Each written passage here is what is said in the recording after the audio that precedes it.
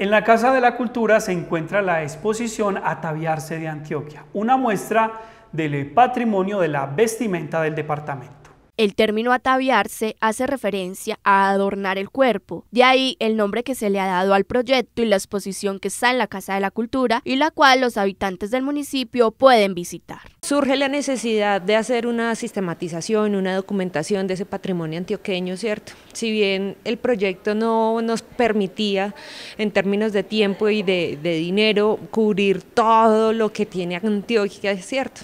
Quisimos traer a diferentes municipios como parte de ese ejercicio de evolución de conocimiento a los municipios, eh, la, exposición Ataviarse de Antioquia.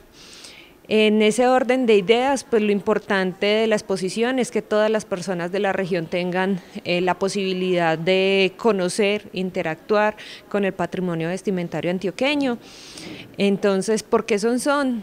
Quisimos venir a Sonsón porque Sonsón nos abrió las puertas para la investigación, estuvimos conversando con las bordadoras, estuvimos conversando con doña Luz Mary eh, sobre las ruanas perrileñas. El proyecto se denomina Patrimonio Vestimentario de Antioquia, el cual es un inventario del vestuario que se ha utilizado y se utiliza en el departamento. Es un proyecto financiado por el Ministerio de Ciencia e Investigación. En la exposición podemos encontrar todo lo que nos adorna el cuerpo, desde los bolsos, desde la bisutería, los accesorios, desde las ruanas, artefactos que son identitarios de la antioqueñidad, como también artefactos eh, indígenas como las chaquiras, como las molas, eh, podemos encontrar pues una multiplicidad de, de, elementos, ¿cierto?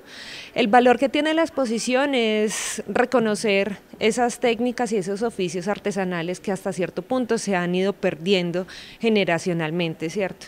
Eh, brindarle la posibilidad también a los jóvenes, a las escuelas de Sonsón, a que vengan y participen, que hagan ejercicios educativos, didácticos, aparte de mostrar estos, estos estos artefactos artesanales, estas artesanías, tiene el directorio de artesanos para que hagan el contacto directo con con los artesanos, ¿cierto? Creemos que la venta directa sin intermediarios fomenta mucho lo que es el patrimonio y que estas técnicas no desaparezcan en el tiempo.